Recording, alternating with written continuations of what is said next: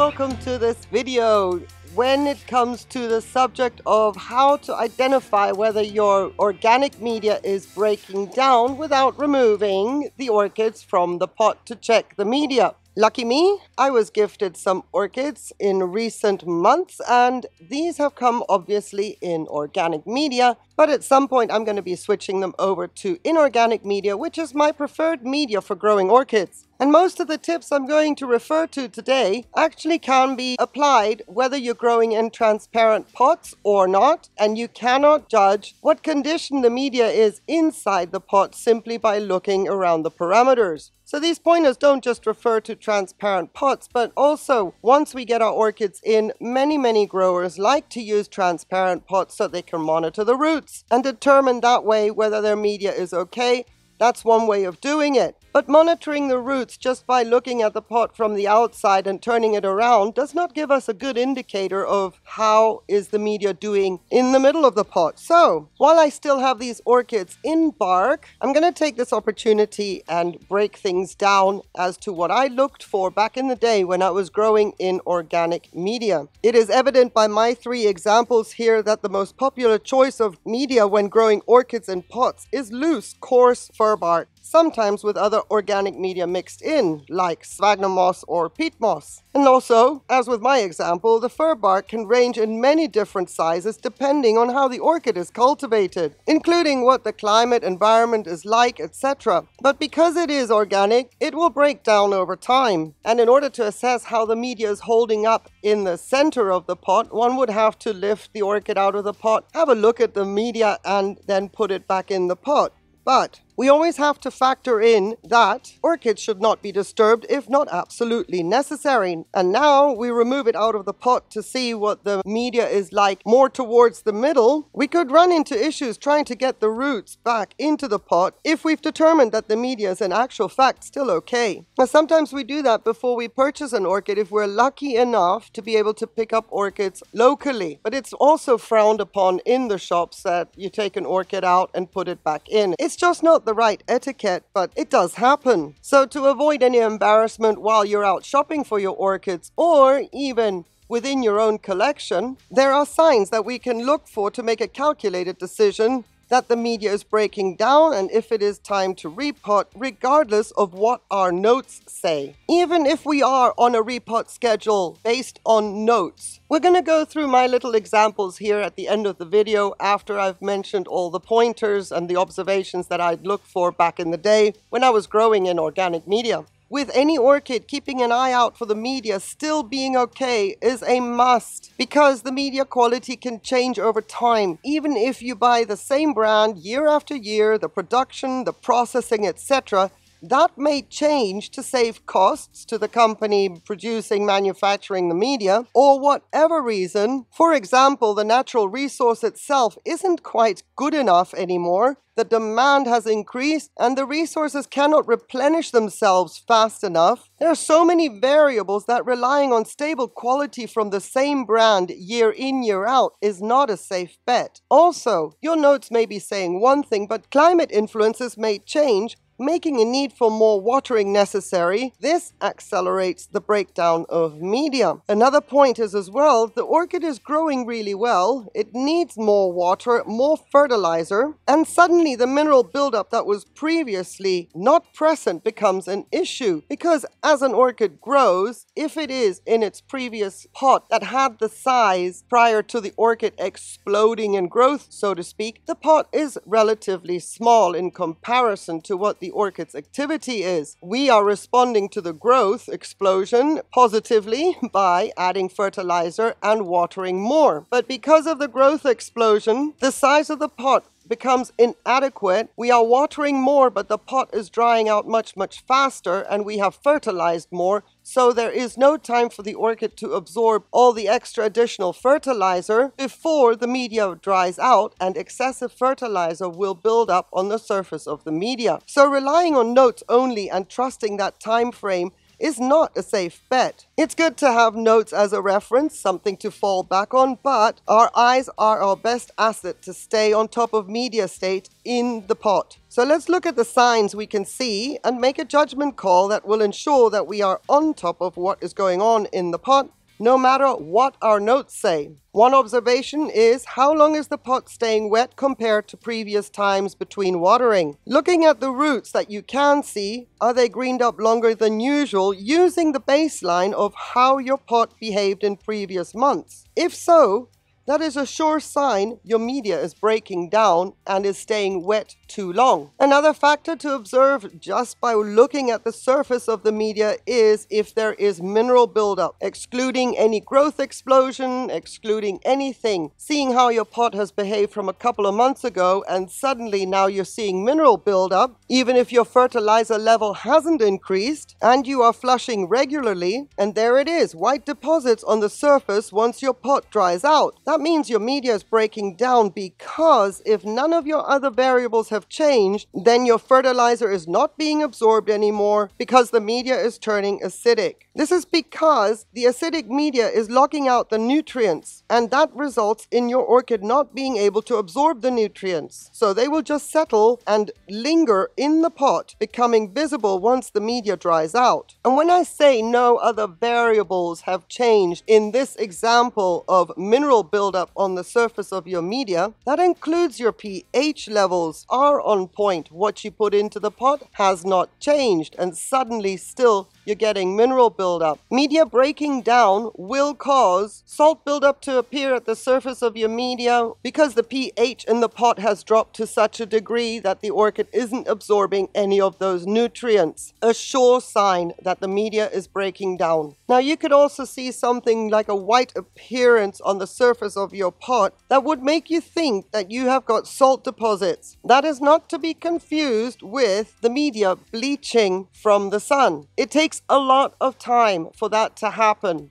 The fading of surface media in a pot. And that little phrase, it takes a lot of time for that to actually happen, also is a sure sign that the media inside the pot is breaking down because if you've had an orchid exposed to the sun and the bark is starting to fade and bleach out a little bit, that orchid has been in that pot a very, very long time and it's time to repot and refresh the media. Excessive algae, of course, the key word being excessive. So what we would see on the outside of a pot cannot be interpreted as excessive, even if you were not to see the roots through the transparent pot. Excessive would be green liquid coming out of the bottom holes of the pot. Not a lot, but enough to feel damp. It doesn't have to be a pouring green liquid, just a certain icky, slimy dampness. That is a sign that the algae has penetrated deep into the pot and suffocated itself out and is now dying in there.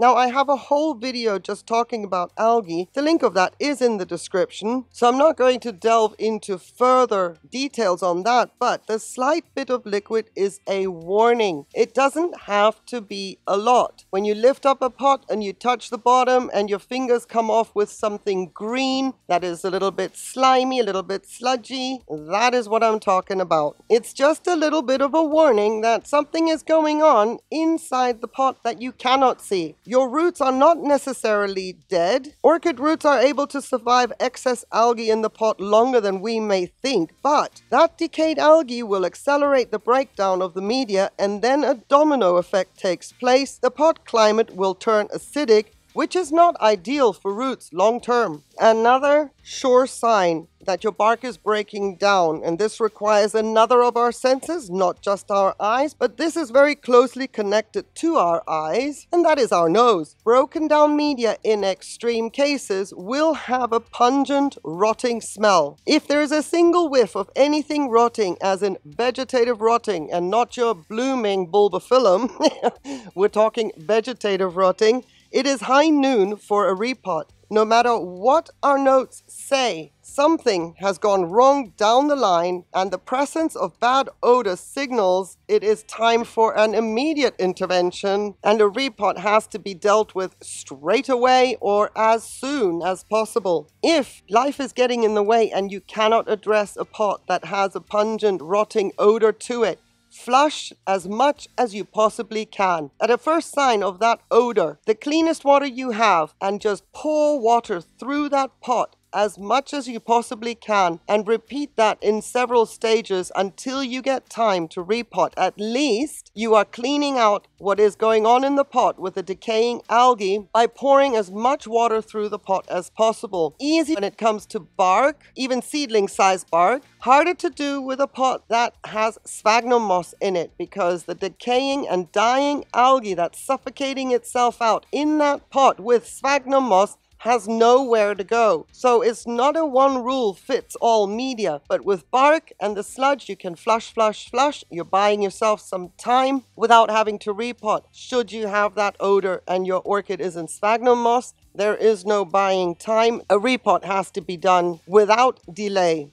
Now, in some cases, some orchids, some genus, we can say the media is breaking down because we can see blotches and blemishes on the foliage of the orchids. Those are genus specific as far as I can say at my end. I do not grow them. There are Masdevallias, there's Draculas. Also, for example, Zygopetalum, we can say if the media is breaking down, if the leaves have blotches and blemishes on them, it could be a possible issue with organic media breaking down in the pot.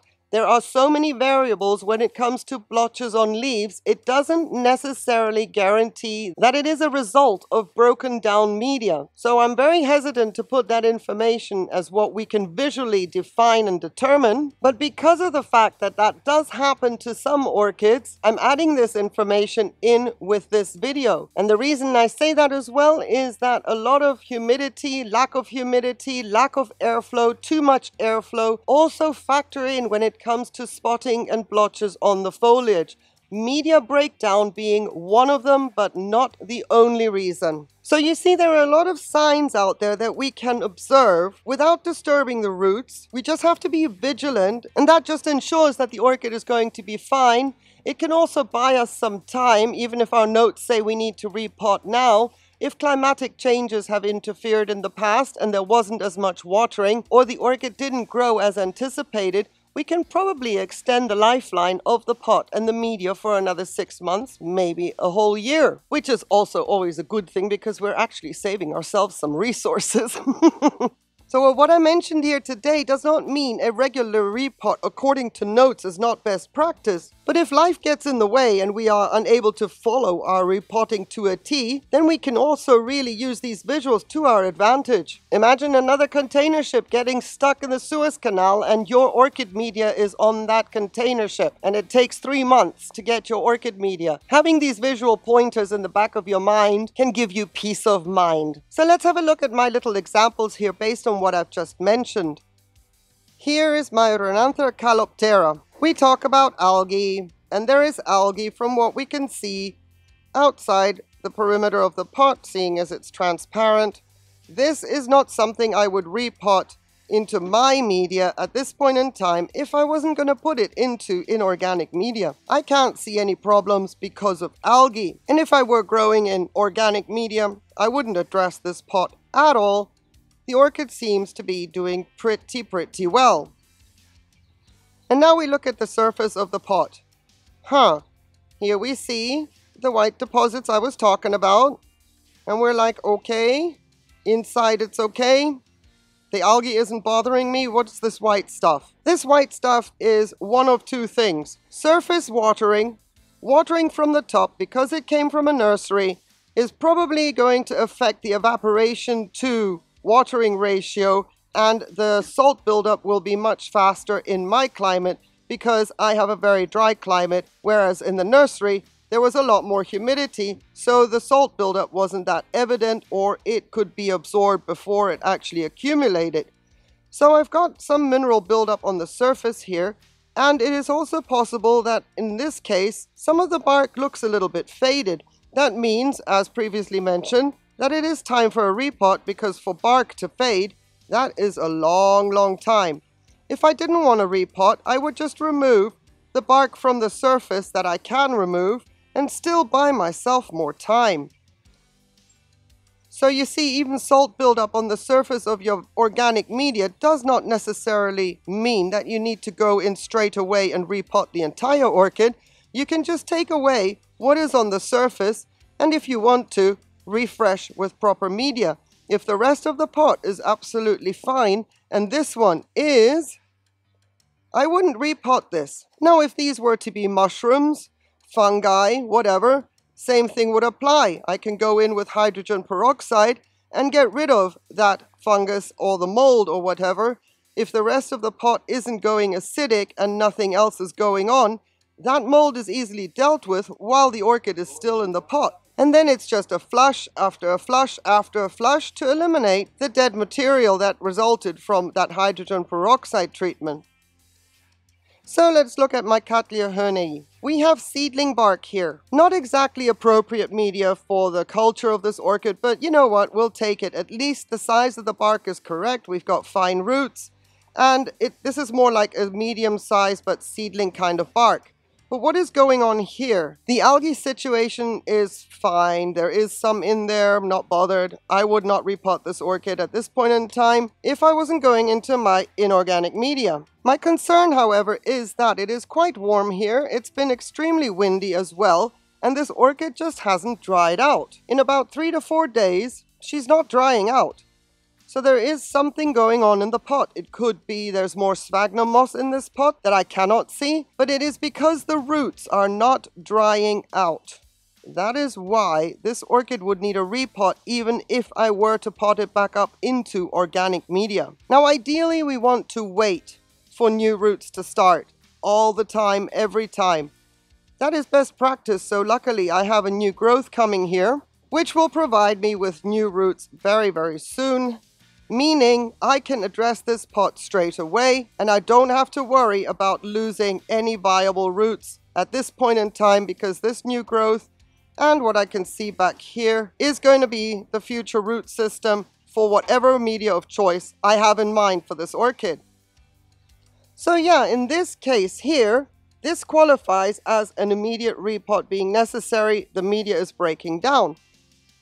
Now, an orchid busting out of the pot is not a reason or an immediate repot requirement. That is definitely not the case. Some orchids are notorious for liking it very tightly packed around their roots. So, a bulging pot is a great sign that there is a root system that is healthy and functioning in there.